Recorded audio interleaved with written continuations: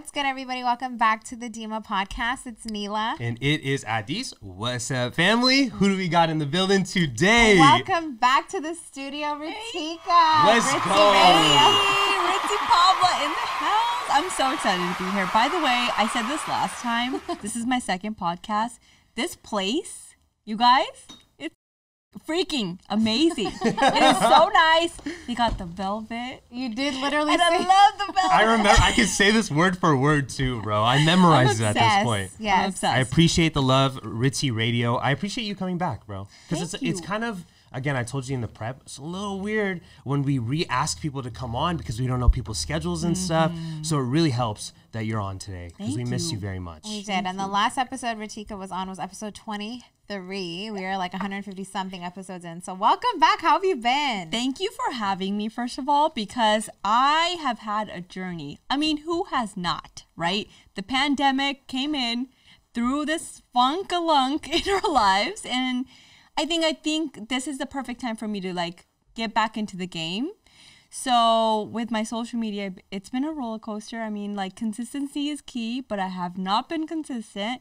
And I think like lately, I'm finally feeling like myself again. So thank you so much for having me back. I'm so excited to be here. Perfect timing Ben. On, in all honesty, I, in that my head. I was like, on that note, yeah, perfect time to get you in here. Yeah. But you are uh, pretty active on social media. I see you on there um, all the time, and I'm a fan of your content. you know, especially you. with Ritzy Radio. I remember we were doing a lot of prep in the first time you were around, Mm-hmm. and um, I when you told me about your Enough's Enough venture that you got going on. Hey, I seen it on a picture recently where you said that on your story. You're like, enough's enough. Tell me more about that now. How do you feel um, with like what you have going on and what sparked that? Um, that picture again because like for me right every time i think about like when i'm lagging on something i swear to god i think about enough's enough i'm like dude at this point bro like I've gave myself a million and seven excuses on why I'm not doing this. Like Neil and I talk about this all the time. There's certain aspects of even this show and this podcast where we're lacking. You know what I mean? Where when, whether it comes like on the clip section of what we got going on and stuff like that. And at one point, it brings you so much stress where you're like, you know what? I'd rather just do it and say F- it at this point than just like keep pushing it off because mm-hmm. that almost makes me more stressed. Can we talk mm-hmm. about the law of detachment a little bit today? Because Adis recently said this to me, and Ritika, you and I were getting our nails done together. When you mm-hmm. brought this up, I did mention this. Um, this like consistency piece, right? Like how you, you mentioned this girl on TikTok who like didn't even know what she was doing. She wasn't even a creator, but her mm. consistency is what made her successful. So I'm seeing that a lot in you lately. Which is inspiring to us too. I know we talk about it all the time. Like she posts, I post my YouTube, and she was like, "Oh, I love this," and I'm like, "Your turn! Like go go on there." So it's like, how is mm-hmm. it? It's just so hard to do everything with everything that we are doing. But how's it been? You know, I think I love that you mentioned the TikTok because just when we got our nails done, whenever that was, the girl posted a TikTok about this girl literally said that she wasn't a creative. You know, and like Neil and I, and all these you too, we're such creatives. And so I think like we get so in our head about being perfect and being perfect, and we want the lighting right, we want the picture right. And a lot of times the people don't even care about those things, right? And so when I saw this video, the girl said that she wasn't a creative, but she's very good at being consistent. Million followers on TikTok, doing thriving, thriving on Instagram. And that's where I think people who are very much in their craft and they get in their head and they want perfect results, they have this image in their head. I think that's where we get stuck. And that's like a disservice to what we're trying to do, right? And so I think when it comes back to like the enough's enough thing, I mean, we have one life. Can you like let that soak that soak that in? Like, you know, when you're playing Mario, you have like three lives. You I got two more lives. It's fine, right? We have one life. Tell that to 50 Cent. Tell that to 50. Shot nine times. Dead ass. He's a rare one. He's okay? a rare one of those. No, but I totally I feel you on that, and I tell Neela this all the time. I'm like, yo, I have one life to live. I have no idea when it's going to be cut short. Hopefully, it mm. doesn't. Um, but I do definitely want to do something that makes me happy and lights that mm-hmm. fire under my butt. That's like, yo, you have mm-hmm. purpose, a sense of purpose, and I find myself a lot sticking to that idea of perfection. And Neela and I talk about this too when it comes to stuff that we're doing on the more creative side, like you said. And you're chasing this sort of perfection. And when you kind of, um, when you miss the mark, it really makes you feel like garbage sometimes to the point um, where you kind of like, oh, should I be doing this? But I think people are fixated on the end product. Like a lot of people um, try to emulate that end product when they look at other people, other mm-hmm. influencers and TikTokers, and they fail to see the growth and the progression and stuff. And even today, I found something about our podcast that I wasn't doing for the last like year and a half, or Neela and mm-hmm. I weren't doing for the last year and a half, where we're like, holy shit, this is the growth piece. Mm. These are the times where it's like, you're growing and growing and you're finding yourselves in these situations to grow even better mm-hmm. but know that when you're not doing something that's in your eyes perfect it's okay and there's room for mm-hmm. growth and there's room to like get it to where you are and people fall off the wagon in that growth mm-hmm. part Yeah. in that part where you're growing See, when I love that you said that because it's always very, very good to have elevation, right? Like to elevate. 10% growth. Victoria's Secret CEO Lex, we- Lex Wexner, he did say that because there was no competition. I used to work at Victoria's Secret, by the way. there was no competition, right? For Victoria's Secret because there was a number one Yeah. bra company. But even then, he always like made this goal for us to be 10% better every year with ourselves, right? Uh, I say us. I'm, I don't even work there anymore, but I, I mean, I mean to say for that company when we were there, Yeah. when I was there, 10% better. And I remember thinking when I was 19 years old, I was like, what? We want to beat ourselves? and that's the thing that stuck to me. And it's so true to be beat our version of ourselves to be better, right? And so like consistency is key, but always finding rooms to grow, the room to grow is so important, right? And so like, I love the fact that you said, yeah, like you guys have been really consistent with this show and I'm so proud of that because that's that's so Love you. important. We did get a comment recently too. With somebody, Right? somebody mentioned like, um, who was it? The Chris Dover Yeah. guy. Shout out to you again. Uh, he did say like how like we're so he was impressed or something by how much we're we're posting, and um, I think that's the consistency is the main component. I think Mm-hmm. within anything that like really really makes something successful. Like even if it's not like compensating in the aspect of like views or Right. subscribers, you know, but it's not if you focus on that in my opinion too much, it's going to take Mm. away from the general thing that you actually are producing, the creativeness, Right. the, the the the content, you know, the production that you have, what you are working with. It takes away from that the hard work you do day to day that actually will eventually translate it because as Mm-hmm. human beings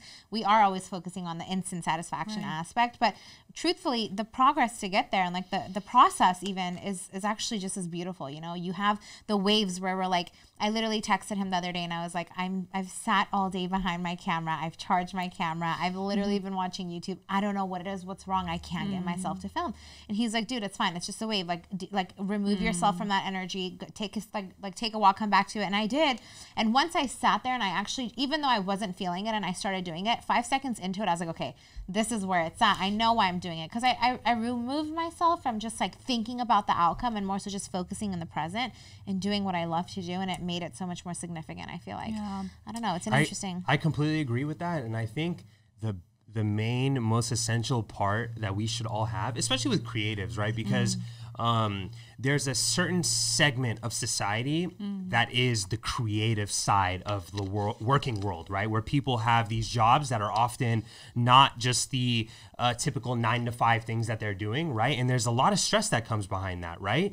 Um, and I think the biggest part of it is having this like almost this mental filter that you have to have over everybody else in the world, right? Because it boils down to the people that you surround yourself with, the environment that you're in every day. Because let's be real, right? We don't, ha- 99% of our friend group or the people that we're around, even our down to our family and stuff, aren't doing what we're doing right? Right then and there, that's a setback, right? Because every time you talk to these people, they're not going to be aligned with what you're doing. Of course, they're going to support you, but they don't really get it, right? So then when you don't receive that, applause at the end of the day or you don't receive the feedback that you want or you find yourself in these situations where you're having these conversations and they don't align with what you're doing it often sets us back tenfold. So you have to have this, like it's like a water filter, right? You filter mm-hmm. all out of the negatives and then you drink the good shit, right? The alkaline shit, right? And I think that's like the biggest key because a lot of people aren't able to differentiate the BS from like the good stuff. You know what I'm saying? Especially, and that's the biggest, um, most integral piece in the growth of a creative is being able to filter out the bullshit and keep going. Yeah, even Because- if you're not seeing what you want to see Even right off the bat, it, even two years in, like it, we're two years in, Right. and like already where we're at with the podcast is so like humbling for what it even is, you know. Mm. Compare, and we're like always talk about if this is like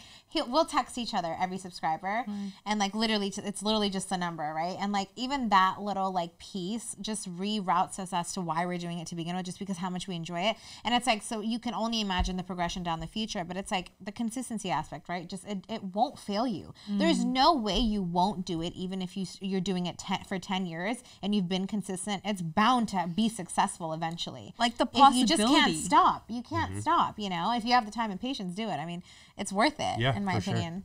I'm so proud of you guys because that's the thing. The first step is to get out of your head, right? Isn't it hardest thing to get it's over. The hard, it's the simplest concept, but the hardest thing to do. Get out of your head. Get out of this like mental breakdown that every single creative person, non-creative person does that to themselves. But why? I want to understand why. I think it's is it our generation? Is it just because we have so many options? Like I wonder why. I feel like our generation is so much in our head. We're definitely a lot more complicated than like our parents in terms of our parents like went to war, and we're sitting here like tripping off of the So most. we're basically kind of soft. No, we're soft for sure. And like I do think that that's a great question and really puts things into perspective in mm-hmm. terms of like the why. I think a lot of it has to do with just trying to be everything else that everyone is Right. as opposed to just that originality you have as an individual and holding on to that. Because the most successful people especially these creators are the people who are their their, their authentic self and have remained original and they flourish just based off of that. That's their niche. That's their technique you know versus going in front of a camera and doing what someone else is doing that may not work for you you know? So i think that's and it's also the amount. I mean i'm not gonna lie. I was watching um a, a YouTube uh, makeup guru who was one of the first that I actually started watching 15 years ago. She was like the OG in the game, and she was still making YouTube videos till this point, you know. And like I look at her her growth and progression compared to like all these other people who like like skyrocketed in the last year, right? Alone from TikTok and stuff, and it's like their generation, the OGs, didn't have a lot of competition. But like now for us, right? Like everyone's doing it. Everyone's literally doing it. And it's Everyone's actually not TikTok weird anymore. famous. It's not weird if you're a content creator anymore. It used to be at one point no one got it, right? Like you're a YouTuber, what are you doing? No one understood it, but now it's actually very normal because everyone is doing it. But that that's the problem that everyone's Yeah. doing it. You know, It's it's, too accessible. saturated. Yeah, yeah. Yeah, I feel like You know, recently I just thought about this. I was driving and I was like, you know, how everyone's like, oh, the top 1%, right? You want to be the top 1%. The top 1% of the world's pop- population is 7 million. so instead of saying top 1%, think Top about seven. being top 7 million of the world. We can be part of that. Yeah, for think sure. like changing perspective, right? And so like I'm not trying to say like, oh, YouTubers and this creative side is the top 1%, but I mean to get better, to get on the other side, to maximize, to elevate. If we are striving to get there and that's our goal, then we don't we don't need to think about one the number 1. We need to think about number 7 million. No, Bro, that's that's a lot of people. It's crazy to think. Do you guys think that with our like for my psyche, right? I mm-hmm. come from a family who immigrated from a third world country, right?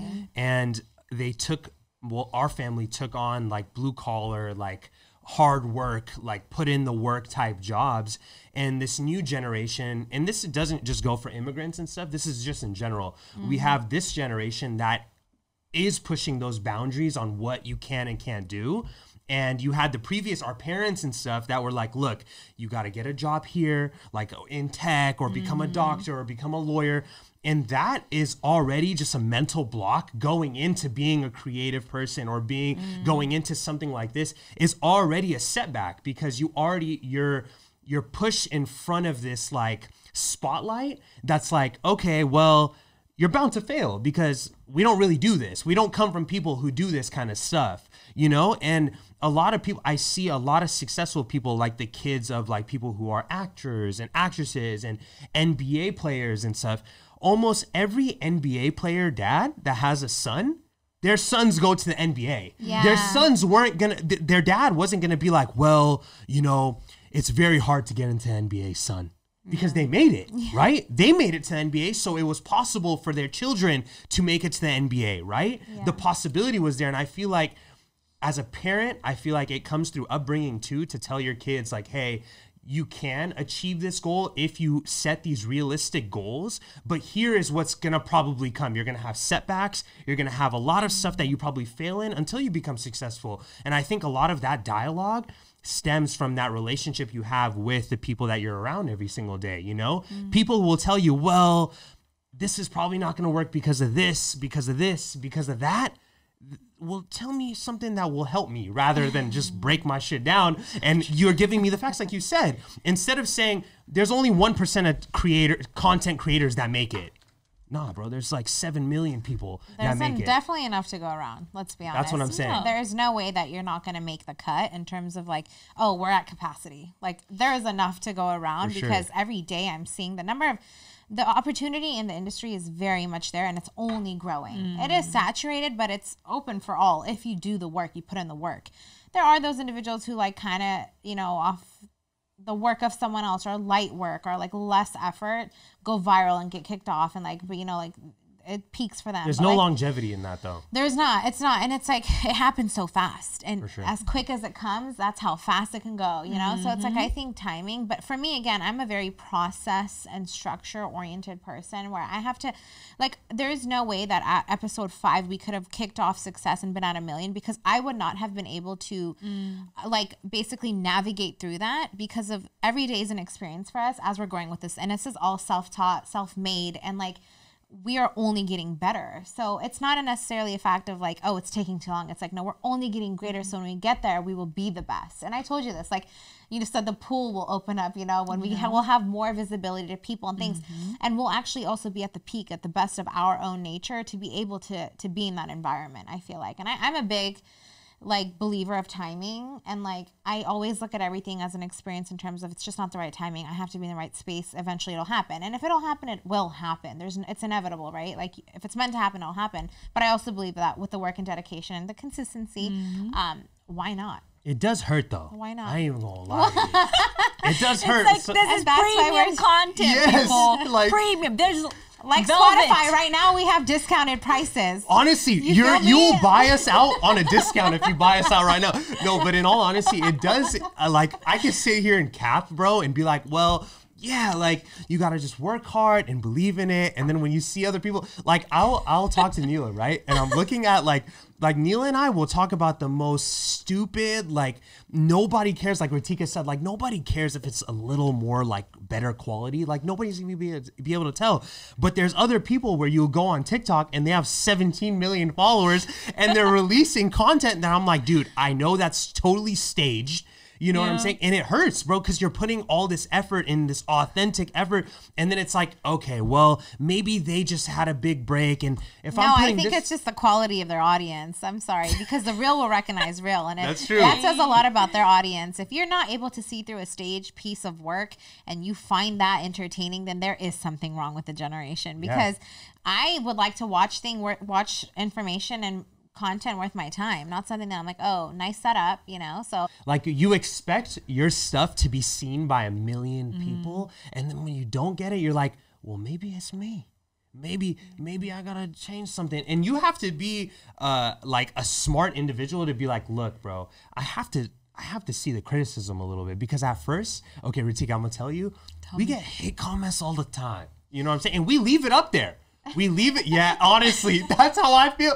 Hey, yeah, and I'll find you guys, bro. IPNs, VPNs, all that shit don't matter. But no, we get this all the time, and as much as it hurts us, we do want to take it as like constructive criticism. Mm-hmm. Maybe we can get better because you have to have that mentality, right? There's consistency, there's willingness to get better and receive criticism, and there's that third piece of being authentic and just doing what you got to do. And like Neela said, back to that thing of law attachment, of law of detachment.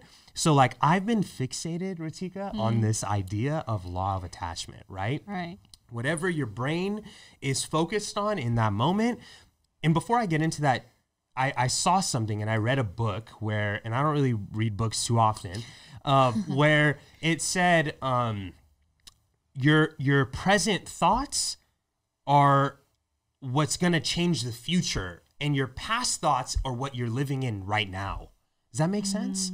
So like Yeah. your previous thoughts of how you were thinking before and stuff is what you're living now and your present thoughts is what your future is going to entail. You know what I'm saying?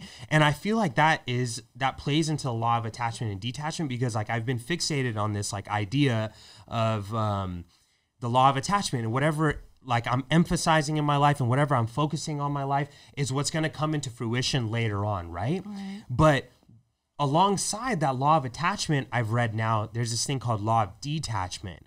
And that's like, have you ever heard of the the saying let go, let God? Like let mm-hmm. go, Yeah. let God, Yeah. right? It's sort of the same thing to where like you just do what you're doing. Mm. You don't focus on the end result, how many subscribers, how many followers, how many people are listening to your radio show. Yeah. You just do.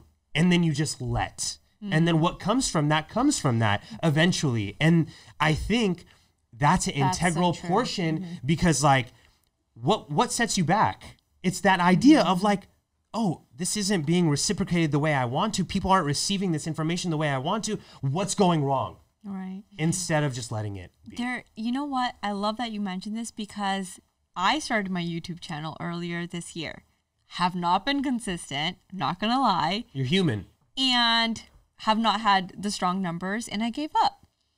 A few months later, a company that I can't mention right now because the show is still gonna come out reached out to me, and they went through my Instagram, which Instagram is a little bit better than my you know YouTube. Went through my Instagram and they clicked on my YouTube video, and even though it doesn't have that many like views or followers or anything like that, they saw my work and they hired me for this project. And the fact that they did this and saw my video, if I didn't put that video out there, I would not have this project. And I can't talk about it yet because it's going to get released in the next three, four weeks. But opportunity of a lifetime. I, they would not have found me. They would have just thought that I was a, you know, model, photo girl. Did not know that I had this like personality Yeah. personality that I was able to express in YouTube. And they saw that and they were like, we want to hire you. And then I got hired and I did this whole thing. Such a cool experience. I can't wait to talk about it. But the point is, is that they would not have hired me if they not did they, if they didn't see my YouTube channel. Every piece of work is an opportunity Right. that can could get Exactly. discovered. You said this to me, yeah, and I that resonated. And that law of detachment, which you Mm-hmm. just said, is so true. That's the mentality I'm on now. Like. I post, I hit all the dots. I love it. I go watch it and I let it go. And I just keep doing it because I'm focused on doing it versus Mm. What I'm going to be, what's received of it. You know, of course, it's who doesn't want to get the acknowledgement because you're putting in all the work, like making videos, editing, all that stuff. It's a whole day's worth of work. Like mm-hmm. he, he knows. And like focusing on the actual passion you have behind the work that you're doing, right? You love creating content, no matter what the content is. If it's fashion, whatever, I love doing makeup. Holding on to that, that itself will will bloom on its own because you're just gonna keep going back to it and doing it and doing it, and that right there will hold you consistent. Hey, listen, I'm a Leo. I just love watching myself. I I'm do have Leo. I hate Leos, man. They are. I love you, but Leos really are obsessed with themselves. I literally watch The my men, story. Yes. The men are crazy, Yes. but I watch my story like probably 20 times a day, and I'm like, "Oh, this is such a This good is so story. fire. No, Like, but I'm I so feel that. I feel that too. But that is a thing, though. Like they're so into themselves. You have to be a a, a fan of yourself, You bro. have to be. How do you There expect go. everybody else to be a fan of you? I think in, with with work that you're creating, I'm a fan of all of our work. You know, like I think I will rewatch it. I'm sure at some point I'm like I, I'm looking at it and somebody else is like, damn, this bitch keeps posting the same thing. I don't post it for them. I post it for myself. I You agree. know, There you like go. um, half of the stuff that I'm posting is just for my own like like uplifting. I feel like. Do you guys ever like watch your stuff again in a different perspective? Like I sometimes pretend like I'm like, okay, if I was this person, like how would I? How like, would I feel about 100? all the percent time. I have like 100%. five different personalities I go through when I watch myself. You know what's funny though? It's so going like going viral and especially like and I know we're fixated on this content creation aspect and I, I promise we're going to like veer off of this, Yeah. but it's pretty simple to go viral. I would say the blueprint is there, right? You can go look at previous videos, you know, like remember where there's this like whole thing with fake pranks and mm-hmm. like like you can go and you can release a piece of content that's not authentic to you and you can go viral. And I, I talked to Neela about this, right? Because a lot of people, right, when we would post our content, people would be like, well, dude, this person's going viral. Why don't you just do this? Right. And it takes away from that authenticity mm-hmm. piece. And that almost takes away from the fun of what you're posting because you want to post the content that you want to post and you want people to receive it in a good way. But if you're posting shit just to post it and for it to go viral, it mm-hmm. won't feel But as how good, bro. easy is it to go viral though nowadays on um on TikTok? Like Easy I feel money. like TikTok is and like correct me if I'm wrong or if you feel the same. I feel like mm-hmm. TikTok is just like a platform of trends where mm-hmm. everyone's just doing the exact same trend in their way. And and and their way, not even their way, it's just it's a different person doing the same thing and going viral for it because it's based off the algorithm populates it off the song or the audio or the filter or whatever Even how it may many be seconds it is. this timing. So TikTok is just like it's become a world where it's no longer celebrity. It's just like you know content creators on the street now. Like it's just everybody. is- You have the opportunity to become a known face within that community just based off of trends. It's all trend related. At least TikTok is. Was I I, here when I I don't remember if this happened when I came here. Did I talk about the TikTok coffee table situation? Yeah. yeah. I talked about that already. Did just give us a reminder real quick. Basically, I was cleaning my house. Okay, one day I was like cleaning my house and I was like, you know what? I have a cool coffee table. My coffee table is dope. It's pretty cool. right? I have a fridge in my coffee table, and I was Literally. like, let's let's record this. And of course, sounds. You copy someone's sound because that's what TikTok is. I put a sound on it that was like about adult money. I did a little like you know showing my coffee table. I started cleaning, and I just went to bed. Next morning, one million views. She's Literally a million. Like Casual. when I woke up, I got one million, one million views. How did that feel? Be honest. I was like, oh my gosh, oh my Lanta. Yeah. I was so shocked. The fact that my coffee table maybe at the po- at that moment I was so excited. But as it started progressing and like everyone just talked about my fucking coffee table, I was like, bruh, don't you want to look at my page? Yeah. Don't you want to look at me? Nobody cared about me. They only cared about my freaking coffee table. And yeah, it was cool to see that viral. It, it went up to tw- 12 million uh, views.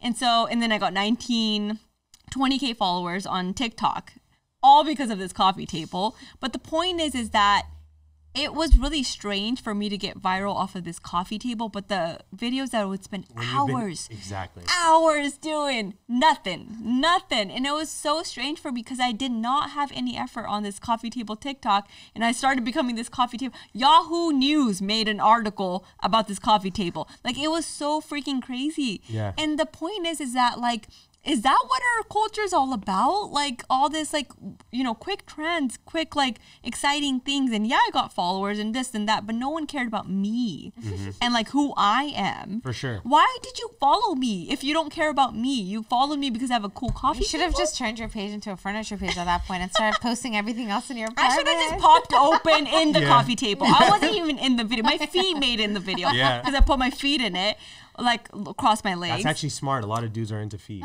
I why. don't know. I know. Why No did I do why. that shit? But I should have been in the coffee table. Like, Yeah, Ritzy this is me. Hello. No, No. right here is the owner of the table. That's how it is though. Like I've seen that uh it- there's like almost this trend on TikTok to where um the people that like one video will go viral and then everybody they'll be like okay i got this newfound fame. Like i have so many followers now. And then they'll post like another video of something that they want to do and it'll only get like five views Nothing. right? And then people will be like we'll post the drawers of this or like post like the, the drawers of the coffee table. Like this is what we want to see. Yeah. and um, like in specific, there's this girl on TikTok, right? I don't know if you guys have seen her, but she makes dorm uh dorm room dinners. Like all she does on TikTok, you've seen it? It's a small little girl, right?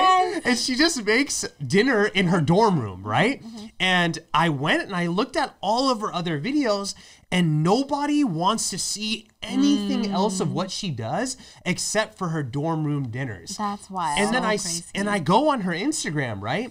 And yeah, she has like you can see she probably has like 20k followers, which probably jolted once she posted that TikTok, right? But then her views and her likes and all of that don't translate.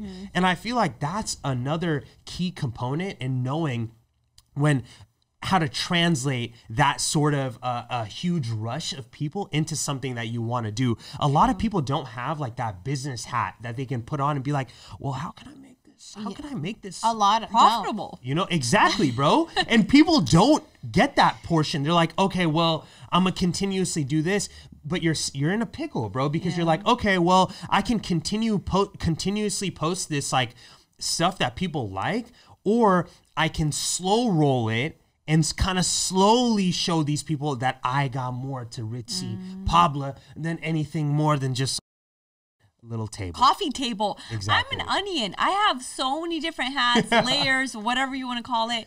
And it's so unfair that our generation just cares about what you're good at and that's it. That's your little what is it called? Niche. Yeah, for Niche. sure.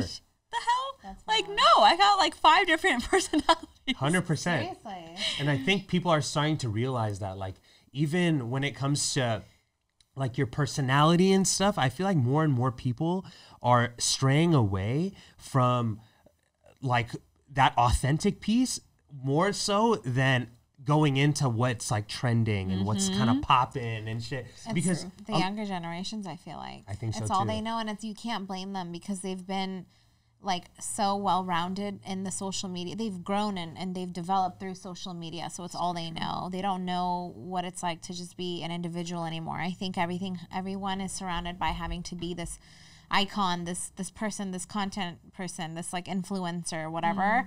and realistically, I'm pretty sure if they were to take a step back and ask themselves, half the things that they're doing is probably not even things that they enjoy. But it's because the world now revolves around, you know, the amount of likes and views and subscribers that you have and and it I mean, I mean, we're about this life, but I, I think with the younger generations, at least with TikTok, like it's wild to me the power it has. Like, I follow this girl Emily Mariko. She's oh, bro, Yeah, I'm obsessed. It's the eating girl, I'm right? obsessed. She, her Oh sushi, God, Kewpie dude. mayo, salmon, Where she rice wraps it. bowl. Oh I gosh. saw it for like two weeks straight, every video. Everybody was doing it. And I couldn't believe like the power that she has. Mm. Her like influencer page, because she was always, she actually used to work a corporate tech job. I think it was Facebook actually, because she, she talked about it, because she lives in San Francisco. oh, she's in South Bay. And She's popping, Ritika, eight popping. million followers. Like every video is getting like nine million followers, and they're like aesthetically pleasing, just like no music behind. She just makes food, chops it. Everything's like perfect. Like her life is perfect. And she you know. cle- like clearly just smiles creepily. yeah, and like, well, yeah. So there's all these like spin-offs that they make about her, but like it's insane, like how overnight it just drifted. But at least to her, like she popped off for doing what she actually enjoys doing because she it's her day to day. Which now I'm sure, like now everything has a motive behind it because you're now she's famous off of it. I watch her videos. I love it. You know, they're like therapy in a way, like very therapeutic. But like it's wild overnight how like and mm. she talks about it and like she'll literally like her her salmon rice bowl it was all over the world. Like Yeah. everyone was doing it and I was like, damn, like you could just be one person that could create one thing that one person likes and it really just takes like word of, it's like word of mouth on the internet. It's wild to me. But now, have it's too you- much power. Have you guys seen like sort of now like we used to be in this segment of like watching TV, right? Mm-hmm. Watching TV shows and watching like the news and watching all these people and now nobody's watching the news and TV no more. commercials. all. What is, what is commercials? What is a commercial?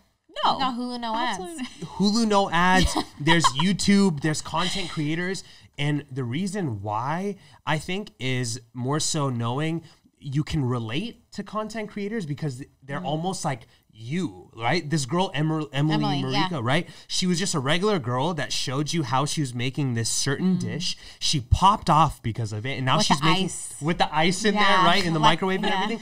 And um, She's lucky I don't eat salmon because I would have tried it. Y'all making me hungry right now. I didn't have dinner today. It's fire. yeah. And like people are like, yo, I can relate to this Yeah. girl. You feel me? And I want to watch her because this is more credible than any other TV show uh, with millions of dollars worth of budget and Yeah. any news channel with millions of do- um, budget that's like just straight up capping and stuff. Have you guys seen what happened to that guy that was a CNN anchor? Do you guys know the Cuomo guy? no. So basically, there's this guy. His name is um. it- it la- There's Andrew Cuomo and I think Chris Cuomo. I want to say his name is. Lake Como. Isn't that the mayor's name? Yeah, so Andrew Cuomo's, uh, I think, the mayor of, of New York or something like that, go, right? Yeah, and then his brother. Is the CNN guy, right? So recently, he just got fired from CNN. yeah, he's the younger one, right? why? Why did he and get uh, fired? he got fired because his brother, who's the governor in politics and everything you- in New York, um, got accused of sexual harassment, right? Oh, damn. From like many of his aides and stuff. A lot of his aides had like four of his um aides stepped up and said this guy groped me, did creepy ass things to me, and his brother, right, went and tried to like almost find dirt on these girls to use again and keep it G, bro. Got to see it through. Hey, got to see it through, my boy. You handling your boy. You got your brother's back. You really, yeah. guy? I love it. Got to see it through, my boy. But okay, in all honesty, No, but like that's what it becomes where you gotta put protect yourself. you gotta protect your brother and shit. But though, when it comes to like sexual weirdness, No, right? yeah, it's a little you're weird. you're a guy who is uh, in politics. He Mm. talks about politics a lot, and you're a, a famous newscaster on CNN, right? And on CNN, and when you're watching CNN, I know the reason why my parents watch CNN and shit is because they're like.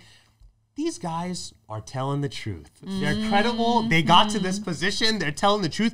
And then you find out that this guy is like damn near he's not threatening people, but he's trying to dig up dirt on these women to use against them and shit to protect his brother, then you're like, all credibility is gone, right? You're like, dude, I used to trust your ass, now I don't. You feel me? So you, a lot of people, especially in our generation and younger than us, are not going to the news to watch people. Not at They're all. Oh, going Hell no. To right? Twitter. They're going to TikTok. They're going to Twitter. Twitter. They're going to Instagram Yeah. To kind of see somebody either to get entertained or to see somebody like us talking about something and giving the real shit. Right. And I feel like that's where life is headed. Especially when I saw this shit, I was like, yeah, bro. Remember we were talking about it in our last episode? Yeah. We were like, the news ain't credible, bro. Oh, it's not. And then this came out. I'm like, okay, if this guy is doing some creepy shit like pulling up to some girl's house with the tinted windows, trying to pull, take pictures and blackmail her, Yeah. why am I gonna trust you? I'm gonna rather go on like, and maybe this is dumb of me, but I'm rather gonna go watch an influencer like that. TikTok, the thing about TikTok is that if whatever is posted, those people in the comments are gonna find the truth.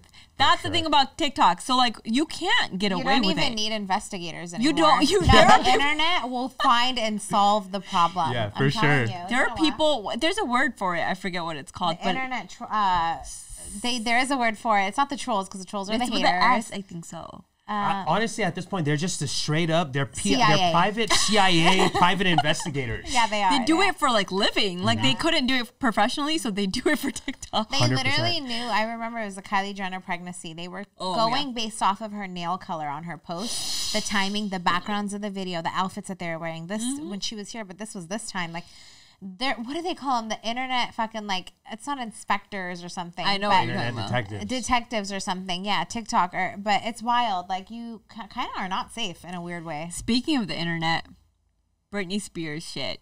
Okay, bro, I wanted, I've been holding this in my soul. What's new with it it? out. Okay, so I don't know if you guys seen it. I'm definitely gonna reference it right now. Basically, Britney Spears recently ended her conservatorship, right? And I remember telling Neela in the prep, we got to talk about this, right? So basically, w- within her little conservatorship and stuff, she was, um, her daily schedule was dictated by her dad, right? The money going into her account and coming out of her account was dictated by her dad, which in some cases, when you have this sort of conservatorship, it's not always that bad because if you have somebody that's like mentally incapable, like myself, of my finances, I just blow my blow my money, you know, on everyone and everything, right? Mm-hmm. But if you're actually in a point where you're not mentally capable of like running in your life in a productive way, especially if you're like an A-list celebrity that has an influx of money coming in at all times from different endorsement deals, different brand deals, and you're not mentally all there, there's going to be somebody that is appointed to you by the courts that's like, look, we trust this person. This person has your best benefit. We're going to put you to basically watch over the whole shit this just ended for Britney Spears, right? And I find myself watching her videos on Instagram, and I'm definitely, and I don't want the people, the Britney, Britney people to come for me right now, right? I find myself like, some of her antics and stuff are a little sus, a little questionable, right?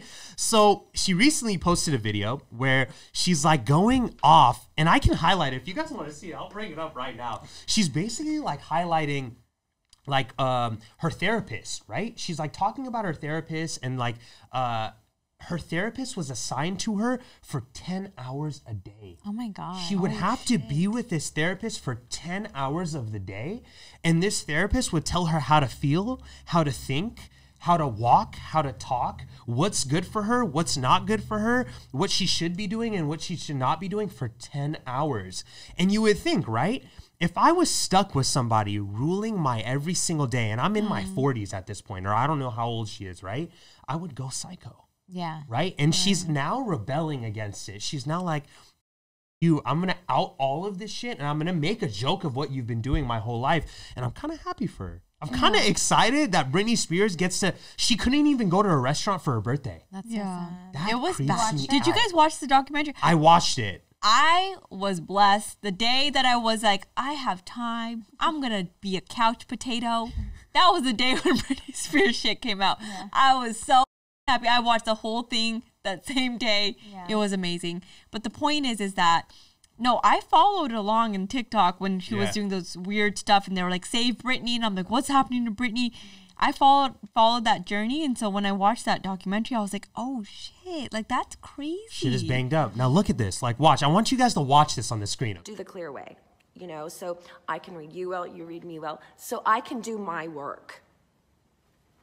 That's what it's about. I need to do my work for you to help you succeed. This is what they make her do for 10 hours, Neela. This is before. I think we need to figure She's like making out. fun of it. Um, Are you breathing well? Okay. Um, that's key number one. I'm here to help you. Balls. Holy shit. Balls. Whoa, girl. Wow. Oh my god. Holy shit. Wow. Balls, eh? Yeah. Holy shit. impersonating her therapist, Okay, right? okay, uh-huh. and And, then- obviously, she couldn't say "holy shit balls" uh-huh. in general. But now that her conservatorship is mm, over, she's like rebelling. She's like, "You, I'm gonna say whatever I want to say, Yeah, as she should. as she should." She imagine your whole life not even having the opportunity to speak for yourself, let alone Exactly. do what you want to do, what the being told what to do, not having access to anything that you're accomplishing. Your I, I don't blame her. And then so that's yeah, her whole youth, and now you don't know how to be sane. Exactly. So you're just rebelling, and that you to people look crazy, but realistically, you're just I can't. You're clearly like you've been in prison. You've literally, it been feels, in prison. It feels like she's been in prison, and it feels like that's so sad. like you So know you sad. ha- you have this Horrible. So sad. And that was her father her dad. that did that to her. But it's like you do have to have this almost sort of like even I don't know if you guys follow um podcasts and other podcasts and stuff. I know Neela, you watch a ton like Ritika. We have to like we're watching it constantly, right? He asked because he knows I only. watch, Literally. I watch a selected few. And it's no no the, the I watch when he sends me. in, in all honesty, bro, there's like a political correctness that we Yeah. all have to have Yes. on social media and stuff. And like, there's these two podcast guys. His name's Akash Singh and Andrew Schulz, right? I watch them pretty Is religiously. Akash right? Indian? Yeah, he is definitely Indian. He's my guy. He's representing.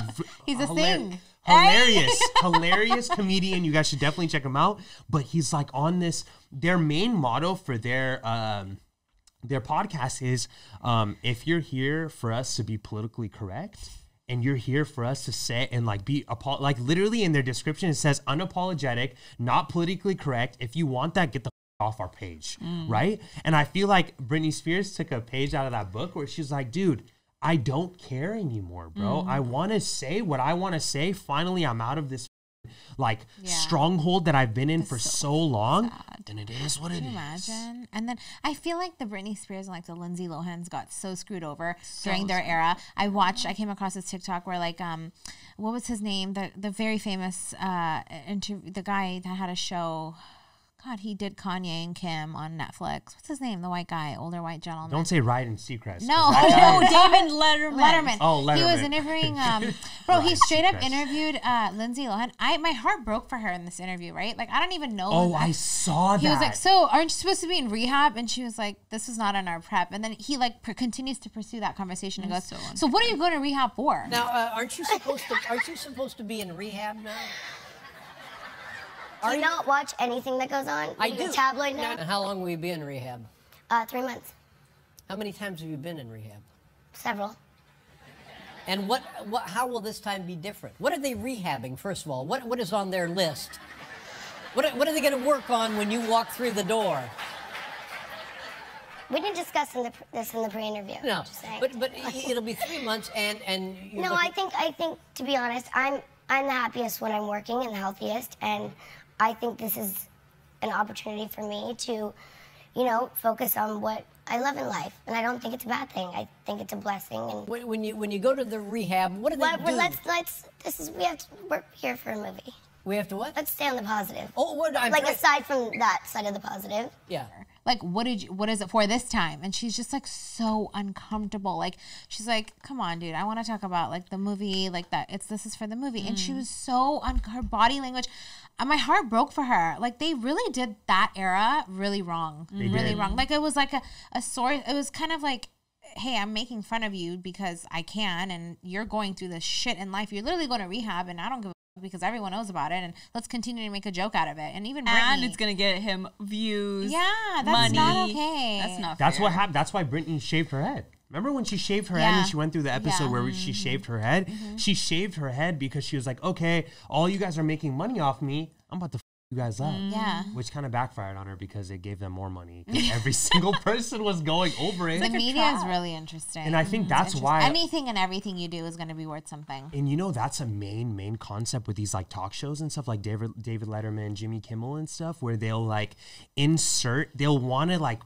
portray something in a way where obviously the audience will get a kick out of it and mm-hmm. stuff and they'll like insert uh, like laughter and stuff when in reality right there's no laughter. It's quiet. Like in that Lindsay mm-hmm. Lohan part right they inserted laughter. Yeah, like so audience funny. laughter. You feel me? Mm-hmm. And that's the sort of shit where like psychology. I would never know that. Well, in reality TV, you know It's when all they're- fake. there's like p- parts where they're like laughing, but that's not even the part where they're really laughing, Yeah. you know? And so like it's so crazy. Like we're we're given this like show that we're supposed to be like watching that's real.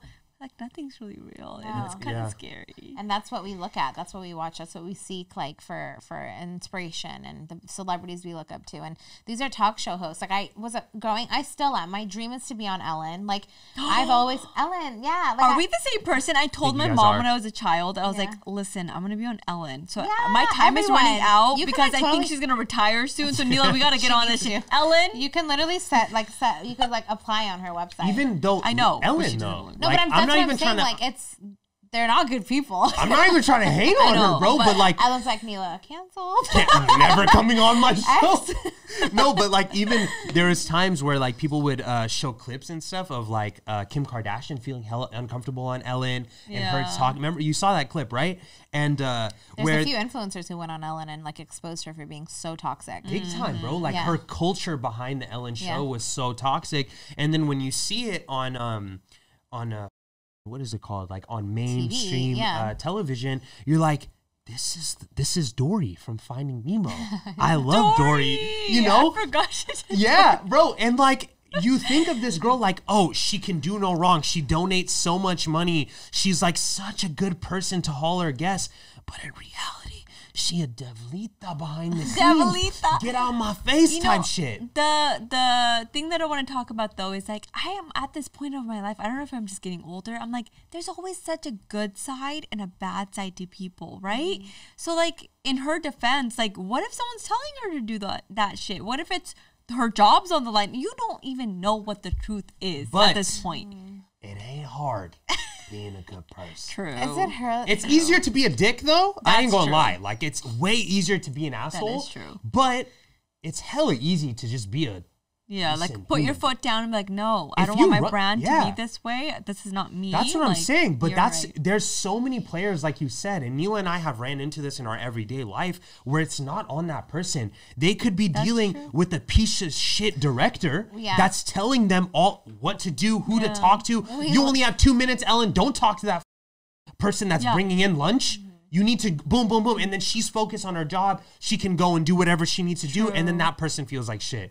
So I hear you, bro. It's also I- like the there is so many players. people who take content and like make content off of others' content. Recently with the Ace family, I don't know if you follow Oh, them. yeah. we talked about them. Um, I just saw another video with Austin came out on their new video, the last day in their house, and he was like, you know, people who try to take our content and talk shit about our life to get monetized and shit like this, right? He was saying this, and like in a way, I feel like it's natural nature, like to talk about you are if you're out and everyone has visibility to you, we're gonna talk about you, right? But like I think there's ways to go about it without just being arrogant and kind of like insensitive to people because we really mm-hmm. don't know the other side and we don't know the reality of what's going on in someone else's situation, right? Unless you physically know or you actually are there. But the reality is that it happens. It's just a way to like be more like an approach it in a humanistic way to understand that everybody is human. And even Ellen like if that is your job and you have a mm. production like you you've been doing this you're a big timer. Everyone wants to be on Ellen even myself right? Like you know the impact you have though. Why are you creating no matter what your boss is telling you to do even if you have a, a you have an agenda you should still make it an environment where everybody wants to be there because so many people want to come to your show and work with you and be and, and talk to you. Like why are you okay with people walking away having a horrible horrible experience But I also, yeah, I agree. But I also don't feel like the way everyone's going about this, like cancel culture. And we've talked about this several Oh, different oh, people times. are also just dramatic. Yeah, That's what I'm saying, And bro. sensitive. Let's It's be like- honest. There's that side of the house too. There's definitely that side of the house too. Where it's like, That's come on, true. you're that sensitive. It's not even like that, you know. It's So freaking It's true. wild, but in general, like it's yeah. I think I think the yes, there's combination of both, but I think you said the a really great point about when you made it at that level, you can run the show. what I'm You can fire Yeah. that director left and right. The And it's her Ellen show. show. Give her room to grow, though. You know what I'm saying? Yeah. Give maybe like nobody's perfect. You know, Mm-hmm. even Ellen, as as successful as she is, nobody in on this planet is perfect. But you have to give them room to grow. Yeah. Have them like. Uh, learn from your mistakes, but don't beat a dead horse. If like she understands she made Mm-hmm. the biggest mistake in the world, give her some room to grow. And if she decides Mm-hmm. on not growing and that work uh, place doesn't um, promote uh, like a, a sense of positivity uh, after the fact, then her ass. You feel me? Mm. But right then and there, when someone makes a mistake, and I feel like that's the worst part of our culture and our society today is we're not giving people room to grow To change. and change and, Perspective. and give them perspective on on changing those stuff. You know? So true. It's a lot of like uh, quick to to create the stigma of people and like this reputation versus hey let's educate them. Let's teach them. Mm-hmm. Let's tell them why. And there are those people that we get a mm-hmm. lot of good comments of people saying hey like totally but this is why i don't agree. And i've mentioned on the podcast before too like i love feedback. I, I live off of it and i grow from it. And i want to know someone else's perspective even if i don't agree with it. I'm constantly wanting to learn.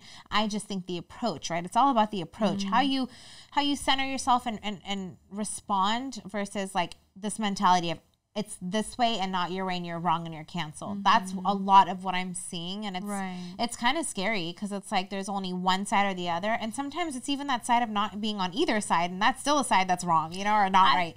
It's I like find myself overthinking about that portion so much just to make sure that I'm not offending anyone. For sure. And I've never, and I'm not trying to say I'm a saint, but like I've always like anything I've done in my life is has always been about love, about making sure everyone's included, and about just being authentic. And now I'm like really thinking about Like walking on single- eggshells. Yeah, and so like it's kind of unfair to to like where, what our society is because I'm like, why am I thinking so much about everything else? And then I'm like, well, even when I post on my story, I'm like, hmm, does this like offend anyone? Am I saying anything? Pro- uh, in you know, like I'm just thinking so. Does this even offend my own people? I called. Um, I made a joke about um. Indians being cheap. I'm Indian. I thought I was allowed to make fun of my own people. Clearly, I wasn't. I got some DMs saying like, "You shouldn't talk about Indians being cheap." And it was only like three. I but like I'm that you said let's normalize. Like I saw your recent post too about normalizing like uh, cheap workout gear or something. Yeah. Not everything has to be Lululemon and like all I buy my shit from Marshalls. And I wanted to talk about it, and I, I wanted to be funny, and I said love I'm that. Mm-hmm. Indian, and I gotta make my Indianness proud. And I guess it offended three people that DM'd me, random people, Mm-hmm. and they said you shouldn't talk about Indians being cheap. I'm like, they're, I'm, I'm Indian, I'm cheap. Equation, Indian cheap, I am that. like, I mean, that was that's an example of like, But I can't even so say that. because you have such a good intent behind it, and no way are you trying to actually offend I'm anyone. literally joking. People are sensitive. So there is a portion of like people are getting super hypersensitive. And can you pass me that actually? Um, I love you. No, th- yeah, the good stuff. The good stuff. Um, and there is like a, a, a sense of like, um, hypersensitivity that our like people our, our society is going through but there is a sense of like mindfulness that you should have when going into things you Yeah. feel me like bro I usually I work on impulse. You know what I'm saying? I just I'm impulsive. I like to release what I like to release, and we did that on one of our episodes, right? Where like I said something that was Ritika. When I tell you, we got. We almost got got. We Yeah. the comment section was insane. I had the whole trans community coming for me. You you know it was it was bad. You know what I'm mm-hmm. saying? He got But- called out for supposedly being transphobic when all he did was speak on him being comfortable and knowing what he prefers. And in no way, if you know this guy, is he transphobic? But like it was, mm.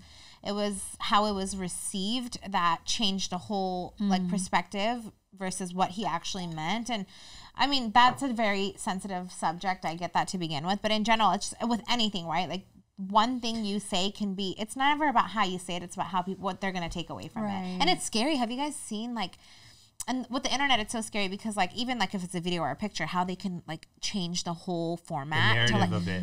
the narrative and like it's terrifying right because people are actually evil out there and if they don't like something they will really go out their way to try to ru- trying to ruin your life and like sure. it's scary because like the words you say and there's so many times i'm sure on this podcast that i've contradicted myself where at Millions of times. 20 We're human. episodes 20 episodes ago i probably felt something that i no longer feel that way anymore Right. or i've changed within that time period and i've had a new experience so my perspective has changed or my opinion has changed but as human beings isn't that normal? Allow me to change. yeah isn't Allow that me to normal? allow to me, allow me to say some shit and Yeah. then be like i don't uh, I, I was wrong last week. Yeah. why is that so hard to do nowadays? And i think maybe it's our generation because when we were growing up you had to have thick sticks thick mm-hmm. skin. Yeah. you had to have thick skin. You had to defend yourself.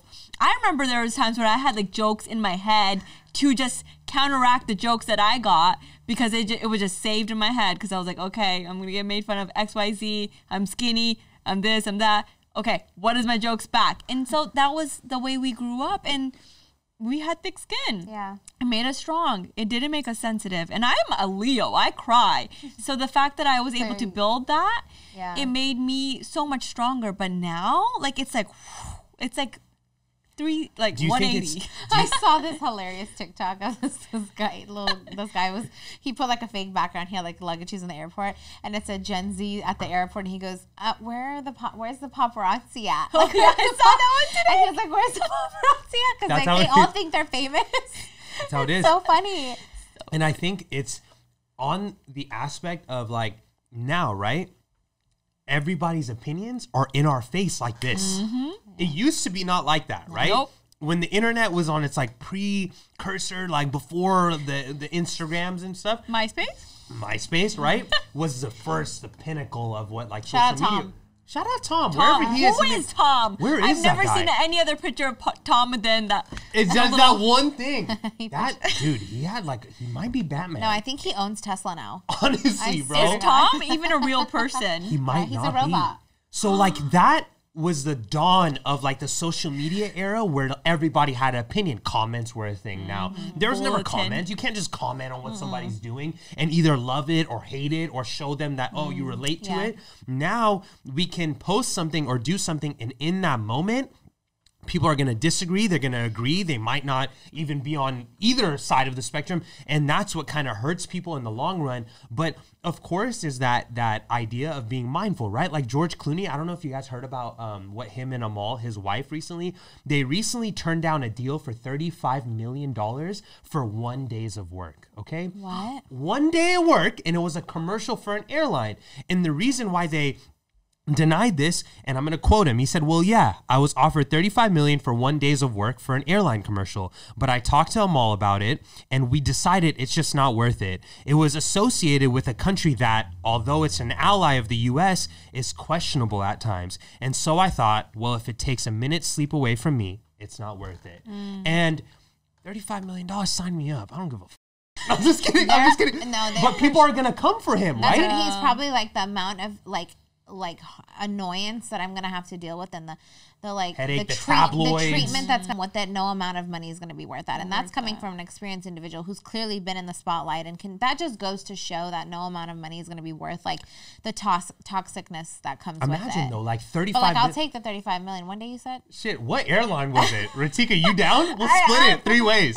Is it Russia? Because I can do a good Russian accent. Yeah, dude. Vodka? yeah, honestly, bro. And I think even with the A-list celebrities, you got to see that Seriously. There's a like for us, right? We're just regular degulars. You feel me? In our minds, we're big time, right? But we, in all honesty, when it comes to Hollywood and stuff, these are people who are been there, done that type of people, and they're people who have obviously publicists behind them. They have a lot of juice behind them, and if you know they're scared of what the public opinion is, and 35 million is a huge chunk of change. That's for a lot of people that will last a lifetime. Mm. Yeah. You know what I'm saying? Yeah. But for them, for them to deny that, although they're in the clear because this airline is a ally to the US and there might not even be backlash, but that like little sliver of like uncertainty is pushing them to be like, I don't give a damn about this. Do you That's think scary. 10 years ago they would have said yes? Yeah. Yeah. Hell see? yeah. No, it's That- the times have changed. That's all Yeah. it is. Yeah, everybody is just gonna have something to say now. I think you're walking on eggshells now. Yeah. And if, like, imagine if we're so cautious, celebrities especially, their entire career is on the line. That's what I'm saying. Are you guys cautious? So I know you did say like you were cautious of what you're posting, but do you still have that at the end of the day? I don't give a damn. Yeah, because I'm a Leo. I keep Okay, talking about my okay, horoscope. okay. No, no, no. To your point, I think there is a time because it's the creative side first that comes in play, and then there's a perfectionist side, and then the last one is like, am I offending anyone? But I go through this like whole thing, and this is even a story. Like that shit gonna disappear in one day. But I still look at it. I'm like, is this a creative post? Does this match my theme? Does this tell my story? Then I look at the oh, you know, is this creative? And then the last piece, I'm like, am I offending anyone? But then after I go through that thought process, I'm like, fuck it, I'm gonna post this, like whatever. And yeah, it does take me a while, but like that's so, isn't that so wild that I mm-hmm. have to go through this process to post a story that's gonna disappear in a day? Do you post for you or do you post for others?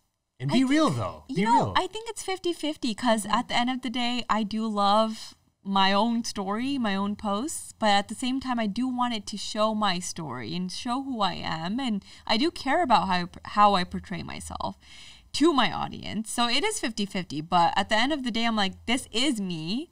And does this does this matter to the to the audience that I have right and so like i would say there's in my opinion on my story i do care about both things but there's never a time where i don't care about myself so i think that's the difference. I think that's what I, I mean, personally, I can speak for our platform. I think that's the biggest struggle, right? Because for Neil and I, there's a certain piece of content that always is always working for us, mm-hmm. right? Mm-hmm. All no matter what we post, like this content will be so great and we know it.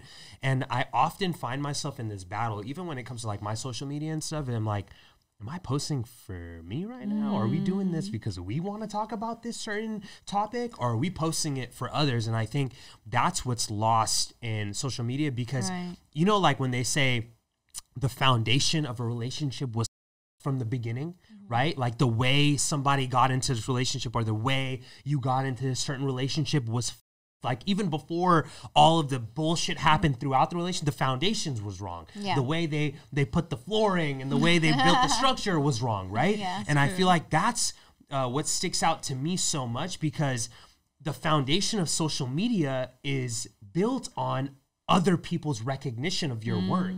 It's based on likes. It's based on how many times your uh, a picture or your video or your content is being um, uh, uh, circulated amongst the masses, right? And then we form this like love for the appreciation or like the love we're getting on this certain thing. And it's hella tough to like dial back and be like, well, I want to post this. Remember, I was talking to you about your content and stuff. We were talking about our content. And I was like, well, maybe this might. And then Neil and I had that talk. We're like, dude, this is what we want to post. It all. who cares Yeah, you know what I'm saying? And I feel like that's the biggest struggle in the social media era where we're so fixated on other people's recognition of our work. Yeah. instead of mm-hmm. us posting what's significant to us and then letting other people receive that the way they receive it mm-hmm. based on what they like, based on what they don't like. It's the loyalty that we need. I don't care. If you want to unfollow me, unfollow me, block me, Yeah. please. It'll help my algorithm. Like, Yeah. don't be that person that's like, oh, I don't like her stuff. Then the literally just unfollow me. It's Yeah. as simple as that. And I think that's the thing. Like, I feel like back in the day, people were so much more loyal, Yeah. and now it's very easy to teeter totter. Like, I like this person. No, I don't anymore. And now I do. You know, like this person or and this, that's yeah. the thing that I see the difference in this generation, this time. Like the loyalty isn't there as much. You know, I think it's like there's a difference between I posted a, posted this on Twitter. There's a difference between fans and followers. Yeah. And I feel like there's followers right now. There's not enough fans. and fans of that's the work thing. and stuff. I completely agree Yeah. with that, That's bro. hella true. like loyalty is like a big proponent in like your friendships and like the people that you surround yourself with and like we're slowly so, slowly like teetering off of that and worrying about like what the crowd is with and stuff like that and like again back to that creative portion of like creatives and stuff i feel like that's the most pivotal uh piece in all of this because who are you going to trust you're going to trust me with no blue check mark you're going to trust the person with the blue check mark mm-hmm. I know I, me myself as a consumer of this work, I'm probably gonna find credibility in the person mm-hmm. that does have the blue check mark mm-hmm. rather than my friend, which sucks. you know, kinda- yeah. it's just how my brain, through whatever Psych- type of yeah, wiring, it's so it's happened over so long. Now my credibility goes straight to the person with the blue check mark rather than my friend that's pouring this content and that's authentic. You know, and that that hurts. That hurts me a little bit. Uh, knowing on I'm like TikTok. I find myself though videos that have a million views, I watch the rest of it to see why they got a million views or likes or whatever it shows, right? But the ones that have like fifty, I literally give it like two seconds, and I'm like, if You it's move not- on. I move on, Yeah. and because I I found I literally found myself doing this. I glance over to the the right, and I'm like, me boom, too. and I'm like, that's so effed up. Yeah. And there's been times when I'm early to this post and I finished it and I'm like, this is gonna go viral. And I'll like comment, I'm like, I know this is gonna go viral or whatever. And then it goes viral. But the point is is that I literally give it like two, three seconds because of what it's what it shows on the right side. And that's Yeah. so effed Bro, up. that's crazy that you say that, That because recently wild. I was on this guy's um, TikTok and we're finding people to run our TikTok for us and stuff. But for now, it's Neela and I, right? Yeah. We're running all of our social media platforms and stuff like that. So um, all in house. And I was going through this um, TikTok and, you know, we comment to kind of show our visibility on the platform and stuff on different viral videos that we find entertaining and stuff like that. And I, I came across this uh, video that was such a fire video and I only had like three likes on TikTok. And I literally skipped. And then I was like, wait. And I didn't like it. Yeah. Whereas, like, if another video had 150K likes, I would for sure heart it. Right? Before it even starts, Before I've even had it. starts. Hey, it has a million likes. I'm gonna like this. Like I literally caught myself doing, and then I, I unlike it. I'm like, wait, I don't know if I like this oh, yet. Bro, Like, a line, dude. And this, I found myself going back and be like, well, why did I just skip? And I go back and I'd be like, damn, this is a good video. Like, Yeah. because I feel So you. Like. Right. it, I think is just like how we're wired now. We're kind of in this That like how we're wired. herd mentality where we Herd go with like this. We're followers, literally. Yeah. We're followers. Like It is hard to follower, a break out of that. Just like don't be a follower. Lead. Be a leader. I like. I'm getting more comfortable. I used to not comment. I would. I'm a liker. Yeah. I unless it's like my friends or family, but I used to just like not comment, and Mm. now I'm commenting uh, because I I wouldn't comment because I'm like this person has a million comments, they're not gonna even see my Mm-hmm. comment. But like I comment now just because I want to speak on how I feel, and like if I see Mm. something I like, even if it has thirty thousand comments, I'm gonna put my you know I want to put my two cents in and, and say oh I love this video or you're amazing. Um, and it, it does go a long way because Mm-hmm. like people actually sometimes do see it and i would want the same you know like i You're feel right. like we put in the time it is weird it's so right that we are so programmed to go towards the numbers as everything's such metrics i hate that but it shouldn't be that way because i can guarantee which i know people are like with us you are missing on some gold content just because they're not probably as um, hyped up or verified than Right. compared to others There's been videos of like um it's on YouTube and this is an old thing now, but like someone would copy Kylie Jenner's Instagram like posts, like mimic them and see how like their followers would respond. And like the fact that it was like similar to a celebrity, like they would get more traction. It's like why is copying such a thing now? Like, isn't that wild? Yeah, it happens a lot. Like there's this guy on YouTube. His name's Mr. Beast, mm-hmm. and Nila, you- we've done a lot of research on this guy. This guy's like one of the biggest YouTubers in the space. Ritika, are you mm-hmm. familiar with him? Sounds familiar. What does he, He do? recently did the re- remade the TikTok for uh, the Instagram. No, no, the YouTube for Squid Game. Yeah, so he remade like the entire set. He's Freaking making cool. about he's like I think he's at 170 million views on that video. Yeah. It's insanity. insanity. Like overnight. And there's this Russian spin-off of his channel where they're literally copying every single thumbnail, every single video, and they're getting hundreds of thousands of views. You know what I'm saying? And I feel like a lot of people because like think back right? Think back of when i can think of myself i stopped caring about being liked and being mm. like loved and revered and thought of high like probably a couple years ago. I would say mm. maybe You not even like yeah. Three, maybe three years ago, like a year before the podcast started or something, and I really real or four years before that or something like that. But I really stopped caring. If I wanted to wear something, I'm wearing it because of me. Mm-hmm. If I wanted to do something, I'm doing something because of me. I don't care what other people think. Right. And even throughout like middle school and high school, I found myself like wanting to be like the cool kids, mm-hmm. wanting to do what's praised and wanting to do that. And I found myself later and later in life it becoming stressful. Like it literally became a stressful, daunting thing to want to like look like this or or act like this because this is what people like or this is what people like down to the point where I, when I was younger I would deepen my voice. I talk like this, you know what I'm saying? I thought this is what the girls liked, right?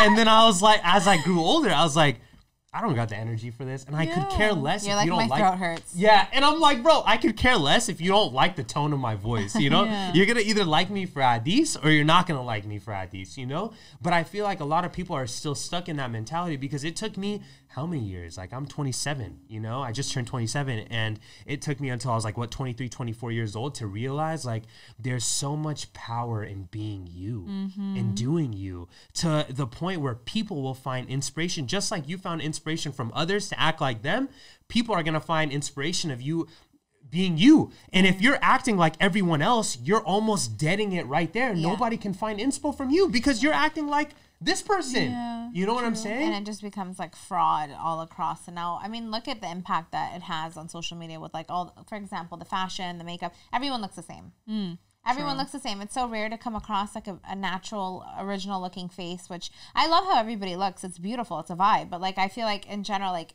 it all just it started with the escalation of just like this is a look this is how you need to look. Everyone look like this. Well, like the filters on why? Instagram. Like there's a point where I'm not gonna lie, I started putting these filters on my on my story, and I didn't even like my real face unless I had that filter on. you have a great face so you should You definitely do. you should definitely like but that's what's happening and they're going and actually getting procedures wait done to look wait So, wait like- wait. Did you, have you seen the new app yes Rit- What you've seen the new What are app you talking about? New what I app? saw it on TikTok. Okay, Okay, Ritika, let Neil put you on. It made everything make sense. Okay, What are you talking ladies, about? I'm there's scared. this app on TikTok. That you want to found- blow just blow it up say fuck it and just release the No, no, hidden it's the Face ingredient. app. the face it's called the What face is that? app. It's called the Face I'm app. so scared. oh you're gonna And it's oh, on oh, Ritika's TikTok. about I'll use DM it. to you. I don't want it. And then no, no, no. You literally need to see because I played. I downloaded it, and my sister downloaded it to a tam. We were all playing around with it, and like we put a picture, and there's filters that come on it, and you can click the filter, and it like it'll put like makeup on you. It'll put like a smoothing it's filter. fire. I'm not even gonna I lie. Use, I use Great. face. I use Facetune to like some for my makeup enhancement, like to detail my makeup or Mm. like smoothen like an imperfection. I'll have pimples, right?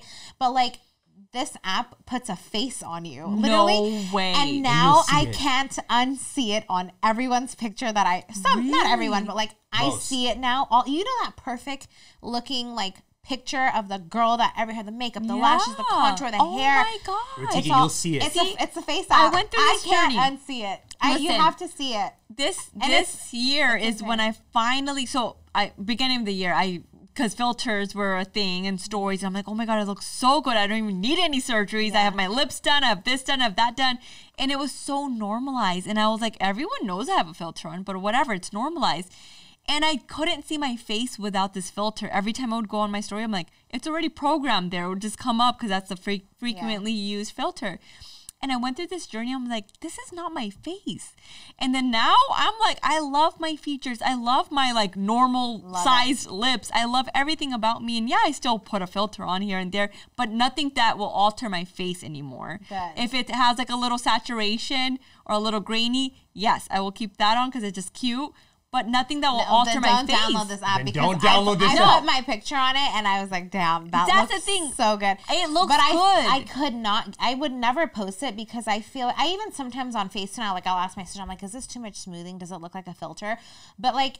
Some I can't get myself to and shout out to you if you do it because like I love it for you. You look good. I it makes you look so good. And I, I was like, I can't get myself because I, people are gonna see me on camera. Yeah. I film. I don't look like that. Well, so like- like I don't want to be perceived that way. But like I, I deleted it. I was like, I, I it's good. It almost became impossible to take a picture and not put it on there to see what it would look like a little enhanced. But like But everyone looks like a. Bratz doll now. That's what I That's- went through that journey. I was do. like, I started looking like that, and I was like, my lips are not humongo. yeah. My face isn't like this. Why am I so into this right now? I don't look like this in person, and that's what got me out of the cycle. And I was like, thank goodness gracious, because I was becoming like very like this is the filter. If it's not on my face, I don't like my face. And now I'm finally like proud of my features, and I think that's what we need to get back into, like Yeah. the features that you have. Yeah, you got makeup is meant for like enhancing those things, but don't alter that whole entire No, look. where it people are like actually. you. while we're on the topic of looking perfect, mm-hmm. Let's talk you about look perfect. Oh, thank you so much. I want to talk about being imperfect. Okay, let's talk about that for a second.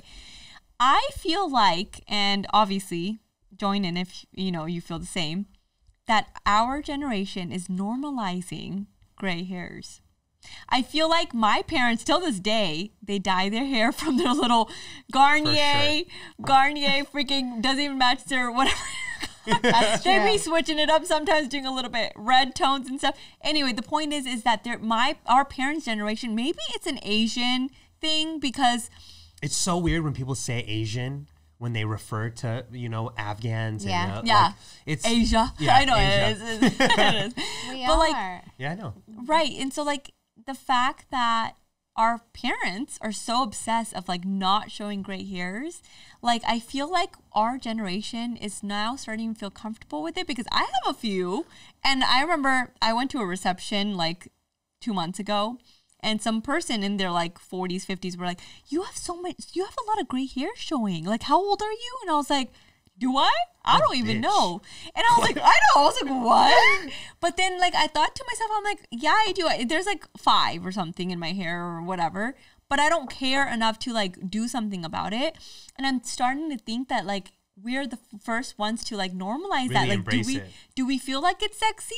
Is it an Asian thing that we dye our hairs, or like what is going on? Because like the salt and pepper thing is in, For or sure. has George been. Clooney, stand so up. like let's talk about that. In all honesty, George Clooney. I sometimes I look at George Clooney. I'm like, I really hope I aged like this guy. the hottest, most handsome, handsome man. sus for me. No, I'm just I'm just like so this. handsome. Yeah. Yeah, he ages well. Yeah, he really salt and pepper is my type. and because it's like more so of like you're embracing what and but an argument there is a lot of people have you guys been noticing that people are going to turkey and shit to fix their hair a lot Yeah. of men are going to turkey I'm on the next flight. i'm going also They have like i i find a lot of pride in i had beautiful hair at one time and as i'm growing Mm. older my hairline is starting to kind of dissipate and i'm like i can't even embrace Ritika i feel you on the salt and pepper if my hair turned gray and shit i would embrace You wouldn't care about as that, long but- as it's full Then the second part is know. is that balding is being so common in our generation too. I that's think it's true stress. though It's stress. I It's think all it's hormones. I think it's our food in America. is- It It is, is. it is. Hundred percent. I'm going through hair loss, and it has to do with stress, the environment, hormones, everything. Food. Like it has so much to do. And it's with hair. It's so annoying because you can't really ever identify the root cause, but it is like. And I feel so like I'm actually documenting my hair journey because I'm gonna make a video about it. Um, and it's like it sounds crazy because to some people it's just hair on the head and they're like, dude, you sound stupid. But like 70% of my confidence comes from my hair. Right. And it's really important because like it's a it I don't know, I love the way I've always had my hair. Like this is all virgin hair. I haven't mm-hmm. dyed it. Oh, and I have some grays to every now and then just because I think it, it it inspires like oh that person's working hard. They're like like anyone with gray hair is like working their ass off, stressed. Wisdom. Like you know that they're doing something with their life, you know. And I don't think and sometimes it is genetic. Um, but I feel you like I think it. I I think youth is a beautiful thing. Aging is a beautiful thing. It's a part of mm. life, right? And I that. think that so- to some people, sometimes it happens sooner, or some people age quicker. You know, like so, it just it depends. But I think we. I love that it is more normalized because it's mm. there's nothing wrong with things that we can't control. Right. Like it is what it is. Even like if you're losing hair, and I, I and I absolutely agree. If you want to diet, diet. If you want to go get your hair fixed because your hairline, do it because it. What matters is what makes you feel good. Right. And I'm constantly thinking about, okay, what do I need to do to make my hair fuller, like as full as it used to be, you know, because I'll feel better looking at it, touching it, knowing that mm-hmm. it has that density versus like, it's not a matter of like trying to look perfect for society. It's your confidence for mm-hmm. yourself. Right, right, right. I think that normalization piece is huge because even with the hair stuff, like I'll have full dialogue with people that are talking about their hair loss and stuff. Like some of my homies that are starting to see their hairlines recede and shit. I'm like, bro, don't even trip because once my hairline goes, for sure I'm going and fixing it. You feel me? And would like I find more and more confidence in knowing that it's like a normal issue for people to lose hair, to grow gray hair, and that are dying there and stuff like that because it's like now, you know it's not on some like misery loves company type shit. It's more like at least a huge pro- a huge portion of people are going through the same struggle and I can kind of talk about it and not give a fuck about me talking about it instead of trying to hide it. Not to you bring know? it back to social media and TikTok, but there is a whole community. So I started looking up like the hair loss shedding situation, and it is actually really fulfilling to see that people have your problems are people's problems Mm-hmm. too, and that there's a world out there that doesn't make you feel alone and they're literally saying and speaking what you're feeling and you're like fuck me too you know so you don't feel crazy Right, in a way but like it is it's crazy like and absolutely to your point like if you i've always been a fan of like cosmetic like um just Okay, like bro. fixing keep yourself it real. up if you want to You into Botox? Y'all into Botox or I've, what? I've never had Botox, but I'm definitely going to get it one day. Honestly, okay, Yeah. can I say something? Why is braces not a bad thing? Okay. Exactly. But Botox Ritika, you're my is. spirit animal Yeah. for this one, okay? Because like now we're seeing everybody just say, "It, I'm gonna go get veneers or lumineers and shit." I'm more so like, I kind of would rather get braces and just make sure that my teeth are just like become normal after a set amount of time instead of like having my teeth underneath decaying Yeah. and hella mm-hmm. crooked, throwing up gang signs while my shit is like not actually behind. Because then you have to redo them and you gotta do this. Not saying, bro, everybody that It's has option. lumineers and veneers, they look better than I do, better I than my teeth. definitely had two braces for like three weeks. Yeah. A few years ago, Great like two decision. years ago, Great and it changed my whole. People think I got veneers, and I'm like, no, I literally had a gap, and like I went to my my dentist, and I was like, okay, let me get veneers, because like not veneers, Invisalign, Right. And he was like, you don't even need that. I could fix this for you in a week. He literally put two braces on the my front teeth. Do you guys remember? I had two clear braces. Yeah. I was literally in the office for like two weeks. It was hilarious with just two, That's hella funny. and that's all it took. But that's what I'm saying. Like, if that's the thing, I know there's like a there's like a Netflix show about this, but there's layers of enhancing your beauty, right? There's like little buckets, but like at the end of the day, it's enhancing your beauty. Braces, dyeing your hair, cutting your hair, shaving, all of that is enhancing beauty. So why is there so much judgment when it comes to like other things? Yes, there's anything in life if you overdo it, then it's gonna suck, right? So there's elements to it, but there's so much judgment for like little things, and then there's no judgment for that. But it's the same shit. You're right, At the that's end of the day, enhancement. When I was in high school, everyone had them. There was like a wave, and I never had them, and I, did, I didn't need them, but I always wanted them. So mm. I, unfortunately, I got them when I was like in my late twenties, and I was like walking two- around with just two. But I mean, it did what it, it gave, what it was supposed to give. You Yeah, feel me? Like 100%. it did the job. So I think there's, I think it's just a matter of being comfortable with whatever you're comfortable with, and if some people would rather just like bypass the, if you got the money to get veneers, get veneers. Then do what you gotta your do, thing. right. Like Turkey, I you know, like I would go to Turkey. I heard they have like the best like cosmetics for everything, like hair. Um, yeah, I've heard and read. Um, so like, and in terms of like. Even like the back to what you were mentioning about like the filters on the app, mm. like people will literally go and look take a picture of the filter and show these surgeons or say this is what I want to look like, mm. and like mimic that because it's just it becomes an obsession. You look good and and it comes out like if and so there's like these people on the internet who are like all, all over TikTok who are like really exaggerated plastic surgery, like it's almost like it doesn't look healthy. You know, it's like the really really bad ones, right? here's the really thing, really bad. do you guys so I know that like plastic surgery there's a black and a white. Like there's not just black and white, but there is mm-hmm. middle ground, right? Where you don't have to look so crazily mm-hmm. into the like you can enhance your features like let's say Still be you. and still be you. Like, you know, a lot of girls mm-hmm. are doing lip fillers and stuff. You don't have to be the girl that has like huge like lips. You can put a little bit in there, but do you think that these people that do have uh, a plastic surgery, and I, there's a lot of women in our family that do get Botox and Mm. do these things, and I would never have known, right? Because it's so subtle. Mm-hmm. So subtle, But yeah. do you think that it's a slow roll obsession rather than like okay of course like Mm. you would think okay these girls understand going they don't want to look like a crazy person but like after a significant amount of time it just increases. And then that small amount milliliters of botox becomes one liter. I don't know how the metrics go. And then two liters. And then they're trying to maintain then they grow older right? And then it's like five liters. And then there's more line because you're growing of age. So it's like do you think that's the catalyst? It's just just like right? Well, well, with anything, right? You when you get obsessed with something, it be, anything too much is bad for you. that's what i Even heard, yeah. water. You know, if you drink too mm-hmm. much water, you can die. Someone So died that's of the that, thing. yeah. There's like I know that's Swear a, to God. you can oh God, uh, really yeah. Yeah, yeah, someone had. Do you remember that? There was a girl that went into a, a water drinking contest. She drank too much yeah, water and she died. died. What? Yeah. Mm-hmm. Anything in this world, if you do too much of it, it's bad for you. So I think that's where you just have to reset and just think like, am I overdoing it? Like, and I think that's like That's our thing, our though. culture is just so obsessive right now. You know what I mean? You mm-hmm. get so obsessed with something. So I think that's where our problem lies. Do you guys ever look at like I know Ritika said this earlier, but how often does this happen where you look do you find yourself looking at yourself from an outside perspective?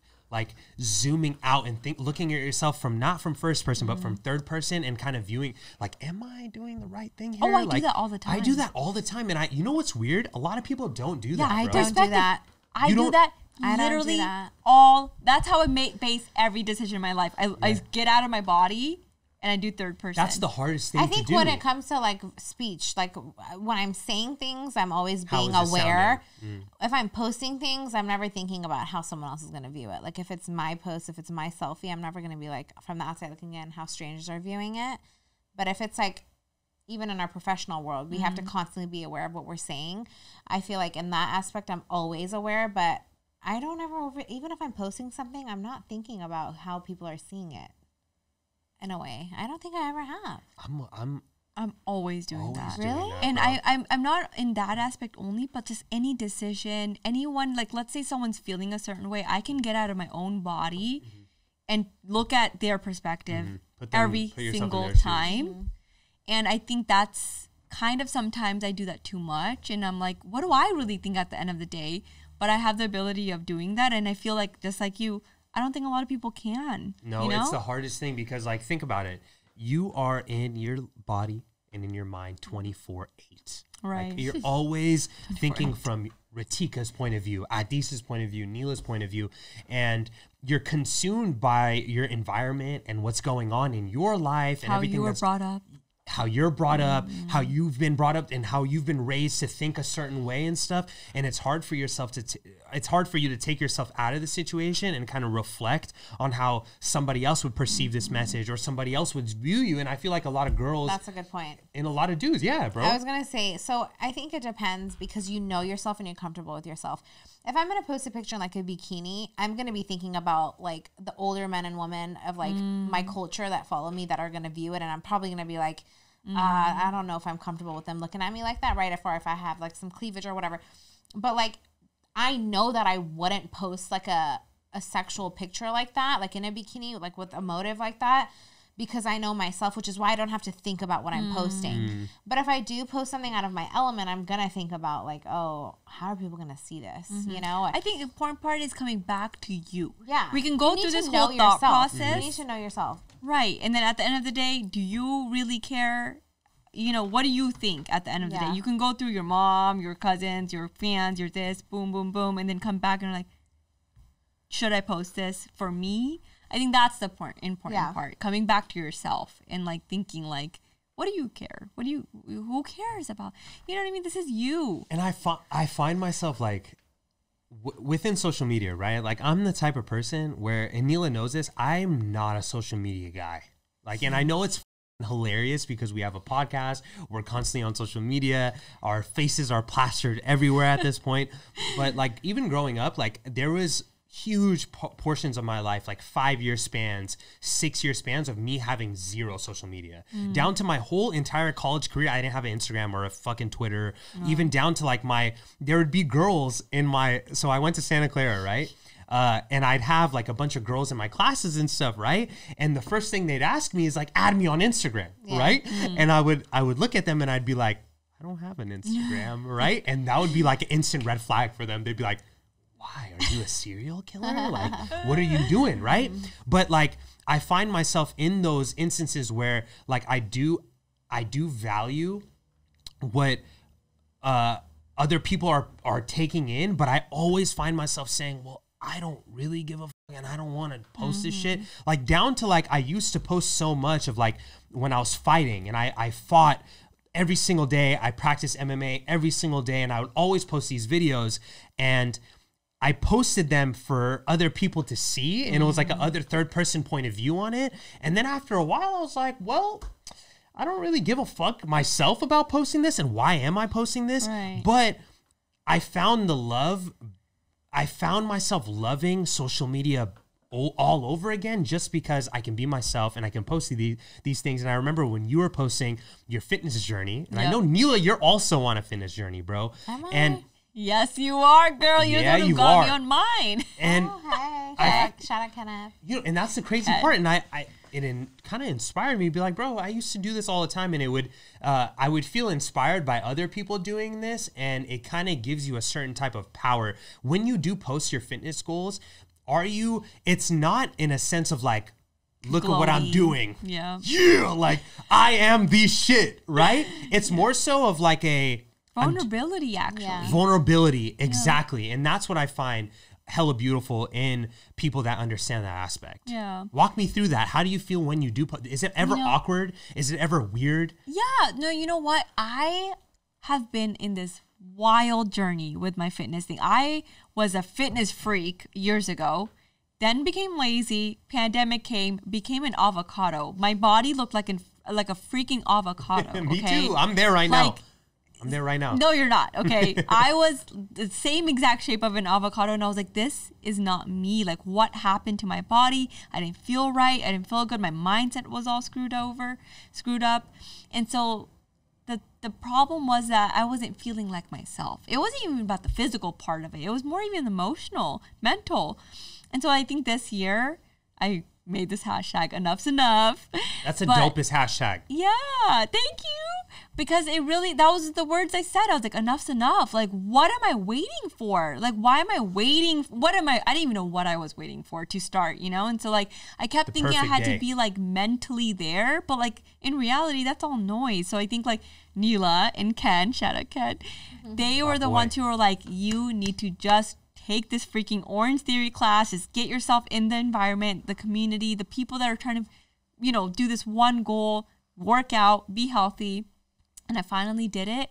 And I realized that it's not even about like the physical aspect at all. It's actually about how you feel inside and how you want to be and just continue doing it, you know? And so, like, I think that's how I started my fitness journey. And it's not, this is the first time ever that I'm eating an Oreo cookie still and I'm having my wine and I'm doing my work. It's like my life now. It's not Yeah. because I'm doing like, you're healthy, you can have Oreo cookies, you can have wine, you can have a shot of tequila. This is the first time I'm like incorporating this as a lifestyle and I love it. Like it feels natural to me. Yeah. And so the, I think I went through this whole journey, right? Like all these expectations, but the point is is that the enough's enough thing came up. It can go with anything, right? Anything you want to do, just enough's enough. Like just do it. And Yeah. it's like crazy to me because it's now my lifestyle with No. everything actually. I find my so I, I was I, I'm an avid podcast listener and um, I'm a fan of Logan Paul, right? And he has his own um, he has his own uh, podcast, and he said something in his recent podcast that really resonated with me, right? Because for the longest time, I was in sports my entire life since the third grade. I was in contact sports like physical football, you know what I'm saying, tackle football from a very young age, and I was kind of uh, thrown into this lifestyle that served me for so long, right? And as I was growing older, right? I would work out religiously. Neela knows this. I would work out every single day. You would see me posting a, a picture in the gym and stuff like that. But he he said something in his recent podcast where he was like, when you're in this creative space and when you're in a creative, that hinders the um the athletic part of your your being it it hinders your ability to like tap into like another portion of like self improvement because you're so focused in this creative side of yourself like let's say for mm-hmm. example Neela she has her main job right Right. and then she has her creative job, which is her mm-hmm. makeup, which is the podcast, which takes so much energy. So much that the physical portion and working out is almost impossible. Yeah, you're tapping out because like you're pouring and even into the creative side, sometimes it's too much to the point where you're like, I cannot do that. I'm tired. I don't want to Mm. do this. I don't have any motivation. How are you going to find motivation when you're pouring all of yourself into your main day to day and then your creative side to work out? So, balance and we talked about this on a previous episode the hardest thing about myself and i can probably speak for a lot of people out there is balance learning how to balance things yeah. and sometimes we're so much into one thing and Mm-hmm. not into this thing that we kind of neglect something. Like even Neela, Ne- me and Neela were talking about this. Um, and she was feeling some type of way, right? Because like every single day, right? Her every day was into her makeup brand, right? And then once work re- like vamped up after COVID, and once her life picked back up, once COVID subsided and stuff, makeup kind of Went was down. went down, right? And her posting and her morale went down. And I remember talking to her on text, and I was like, "Yeah, this you're going through this."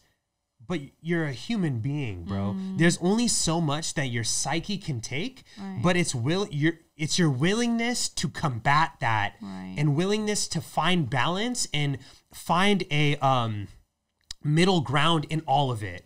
And I feel like that's the hardest thing with all of us. Like for me, once I started this podcast, I was a really strong dude. Like I was like 190 pounds, weightlifting every single day, started the podcast, started working in the tech world and stuff at that time. And fitness and my fitness goals and everything kind of started to dissipate. And it wasn't like, I was actively saying like, look, bro, I need to focus on this. I'm gonna. It was like something that was actually hurting me. Mm. Like I felt weird feeling like an avocado. You feel me?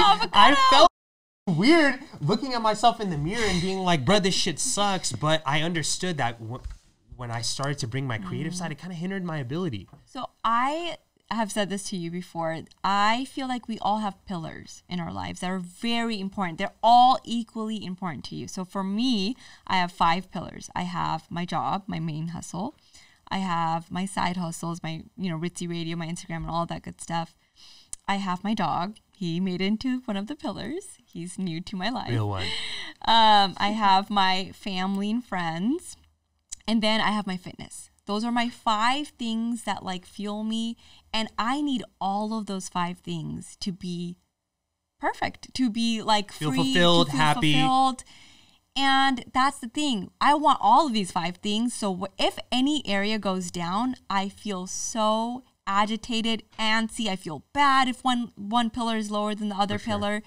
So that's the struggle that I'm going through. And I feel like all of us that have so much on our on our plate, naturally, people only have like three or two pillars. They're just cruising, they're good. But some people like us that want to do more and, and just kind of, you know, have these pillars that are very important to us, that's when it becomes draining. So I think like like you said, the balance. I need all of these five pillars to feel good. So if one is getting sacrificed, if I'm doing one too much, I think I just need to reset myself and say like I'm spending too much time on pillar number A, B, C. Mm-hmm. Where am I at at D and E? You know what I mean? So like I think we just have to reset when it comes to like I'm spending too much time here. Let me do one day with puppy time now. No, nothing else. just my puppy, or let me do family time now. Not, you know what I mean? Just like balancing yourself. Are you a routine? I know. Are you guys routine people? Like, do you guys have a set routine where you're like, look, I need to follow this routine in order to uh, uh, be the most hundred percent al mente in my life? I don't know that I'm a routine person. I'm definitely a schedule based person. Mm. Like I need to see have things outlined for me. I'm not spontaneous. I can't do things on outside of don't- your schedule? out on the go. Although like oh god, I sound so boring. I feel like I I can't, I'm o- I'm open to just saying fuck it, let's go to LA this weekend, but I'm also like I have s- things that I need to be prioritizing and I and I don't know that I can make that just yet. Like I, I and to your point, I talked about this I think a few episodes ago.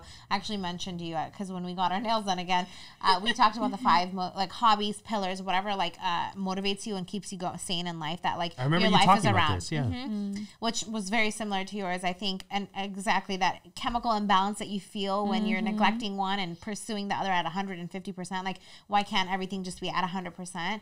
Um, so for me, it's it's more so just having everything more organized and outlined for me as opposed to a routine. I have like a little routine in the morning when I get up. I shower, skincare, coffee. That's like those are day to day. Yeah. But like it's for in terms of like my week and month and life and planning ahead. I just like to be schedule oriented. You know what's crazy, right? Looking in, if I I follow both of you guys on Instagram, right? Mm-hmm.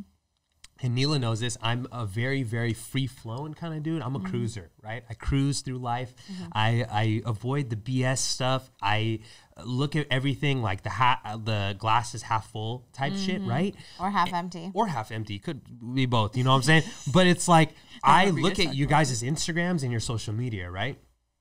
And I see greatness. And I'm not just saying this because I love you guys. I'm saying this because w- what's being portrayed is Ritzy Pabla and Neela Carey living their best life, living a life of you have it together, right? And I feel like that's the thing that discourages a lot of people from living their best life because they think everybody else feels amazing. And that's social media. Going back to that social media aspect, like everything is going great for everybody else. Mm-hmm. And we don't normalize the setbacks and we don't normalize the little small nuances of of human beings mm-hmm. and how you could fall off the wagon and then bounce back and and learn how to balance things and learn how to mm-hmm. um fulfill the aspects of or the areas of your life that you kind of feel shitty about sometimes or you're not giving enough effort into. And i think the reason behind that is is we're really seeing a lot of people that do seem to have it together so much. Neil and i were talking about this like the ace family right? There's this huge family on um, youtube right? Everybody knows them. Everything everybody thinks they have this perfect family this perfect life this perfect house this perfect car. And then you realize that the car is on a donut right now. It's on a spare tire. The house is leaking the this the that this the that and they don't normalize the Yeah. pitfalls and the setbacks. And once we normalize those things we can have people grow from them right? We can have we can learn. It's it will be a learning experience for a lot of people. So true. Yeah. so it's crazy true. to me bro. We only we only focus on the You good know, stuff. sometimes there's moments when I get vulnerable and I talk about like the you do hard and i see i see it and that gets more traction than like some other that inspires me so much because like I look at that stuff and I'm like, dude, I relate to her or I relate to this person because I feel this way, bro. Mm. Right. And I can have it all together like Neela, right? She has everything together in my eyes, right? She has her family, she has her work, she has the podcast, she has the makeup, and still I'll find myself in these conversations with her where she's still trying to push the Annie of mm. perfection, of like that, like I still need to do this. And that's a great way to live, honestly, because or you're it could just be like too much. Uh, don't you sometimes feel like we're too hard on ourselves? so hundred hard. percent, I sometimes I'm literally Yeah, always like, thinking. it's Like I can't turn off my brain Sometimes Me sometimes. too, bro. Me I don't too. know how to relax. How do other people I go do on it? vacation. I don't know how to relax. I don't know how to put it away. I don't know how to lay down and take some sun. I it's problematic. I want to feel normal. I want to have a personal Yeah. life, and I know that to a lot of people from the outside looking in, it looks like I have my shit together. You have your shit together, which you know maybe. Granted, but, for like, the most part, but yeah, but like part. there are some dark, lonely days, and For like sure. there are things that I can't control that happen in my life that I wish I could, and and it's just like to everyone out there who thinks that they they can do it all, like you can, but it's not going to be easy, not you healthy, know. and I too, and I and, and shout out Mina, who I love you, and I you list she listens. Um, she recently texted us, and she was like, you know, listening to that episode where I was telling her the five pillars, and you have to, or I was telling the podcast, not her, about how like you feel like you you need to do it all, and sometimes you can, and she's like, it's wild that like you know she was so she was relating. And a lot of people do feel that way. Like you can't really you think you you're accomplishing so much but you still feel so unaccomplished because you're giving something only 20 and the thing is that like when you do do it all and everything has 110% it's not going to be perfected versus if everything had equally the same amount of time that you did fully with you fully being present you know? Mm. Because you're you're trying to rush and i'm only giving it an hour to make up but that's probably an hour of a shit video i just made because i was rushing and just trying to get it done for the day. It's like it's hard. You have that uncontent feeling most days but it's just like you we need to normalize mm-hmm. being okay with not always accomplishing it all too because we can't be perfect. We're not Right. superman. Like sometimes shit happens and and like the timing again. I'm so big on timing. I don't know what it is but like if i i, I was neglecting maybe you know makeup for a little bit but my career was was going through the roof at work you know i was growing cra- like crazy and now i'm content and i feel like I've, i'm a little more established so i have time to go back to makeup Yeah. and maybe blow that up so it just has to do with like moments, just where you're in timing life, moments yeah. but also like give yourself the credit where it's due because Mm. it's okay like we it, you can do it all i'm not the person that says you can't do it all you can do it all but it's not going to be easy Yeah. There's going to be several different set- setbacks and Yeah. things, but it what differentiates the people that are able to get past these things is that will to get past those things. Yeah. Right? That will to be like, hey, bro, fuck this, fuck you, Yeah. fuck you. Like, I'm gonna okay. do this. You had a it's okay day. that It's I feel like this. you you had a me? bad day it's okay but keep going And you Exactly. need to be present. Like there's mm-hmm. times when I'm watching a movie and I'm like, enjoying the movie, but at the end of the movie, I'm like, I didn't do this, I didn't do that, I didn't do work, I didn't do this, and I'm mm-hmm. like so anxious. Yeah. But then I'm like, why did I feel this moment of feeling so anxious for 30 minutes? I could have just been relaxing and then have those do those things the next day. Like I think there's so many things that we do to ourselves that we just need to just chill the fuck. You got to f- be able to have a solid filter Yep. for it, bro. I'm telling you, it goes back to being and a able to backbone and, and a and- backbone. and like thick skin for yourself to also talk to yourself and tell yourself it's okay. Yeah, you had a bad day, but tomorrow's a new day. yeah. Honestly, A We're lot of people human. can't check out of that though. It's a very very hard thing. Yeah. Yeah, to mm-hmm. check out It of is. that. When you have those mental lapses and you have like a moment of insecurity or, or a moment of like bro, I cannot name you the amount of times that I have felt insecure about something that I'm doing or or sad or angry or whatever because I'm a human and I'm filled with these emotions, right? Mm-hmm. And we all go through these emotions, mm-hmm. but for some weird reason, I am a very I I don't know if I was born with it or whatever. I'm very easily unbothered. Like I will feel these emotions, right? And then same. I love that. and then 2 minutes later I'll be like, "Well, It shit, is what it is what it is. It is what it is. It is what it is." You can turn it on and off. But a lot of people struggle with that. You feel me? And I feel like that's a main thing when you come to this hypersensitive era that we're in, that we were talking about earlier. A lot of uh, a lot of people cannot check themselves in and out of uh, those emotions, and I feel like that all honestly differentiates the people who. F- deem themselves successful in life and when i mean successful is contentment and happiness what i feel uh s- being successful is is not the amount of money you have of course everybody wants 35 million dollars in their account you feel me but my idea of successful uh, being successful is being happy with what you're doing and uh, being able to filter out the bullshit So true. So true. Great, great. and on that note Ritika, thank you for being here. It's always such a good time, and I and I loved all the energy. Um, we love you. we can't wait till you're back salud Cheers. If you're listening, you can uh, watch us on youtube.com slash the Dimah Podcast and follow us on all platforms at the Dimah Podcast. Follow Ritika at Ritzy Pabla. Orsi Pablo. We will link it below. And until next time, TDP, we out we out. Peace.